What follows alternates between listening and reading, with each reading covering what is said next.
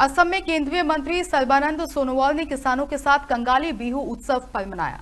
उन्होंने कहा कि काटी बिहू हमारे असमिया समाज की एक परंपरा है। हमारा समाज हमेशा से प्रकृति की पूजा करता आया है। क्योंकि हमारा मानना है कि प्रकृति रहेगी तो प्राणी रहेंगे। हमने यही प्रार्थना की है कि इस बार हमारे उत्पादन में वृद्धि हो और सभी परिवार सुख शांति से जीवन व्यतीत करें।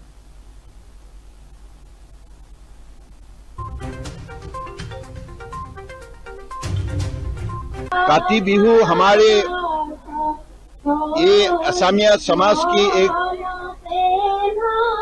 परंपरा है, सामाजिक, सांस्कृतिक, आध्यात्मिक परंपरा है। और हमारे समाज हमेशा प्रकृति को पूजा करते आए हैं, नमन करते आए हैं, क्योंकि सबका यही मानना है कि प्रकृति रहेगा तो प्राणी रहेगा।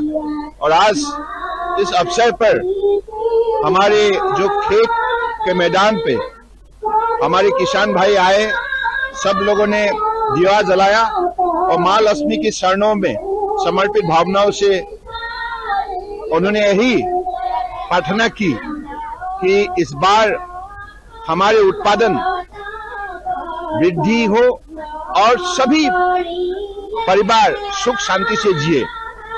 तो यही हमारा परंपरा है। और इसी परंपरा से असमिया समाज ने अपने संस्कार और संस्कृति को मज़बूत करने का काम सदियों से करते आए हैं, करते जाएँगे।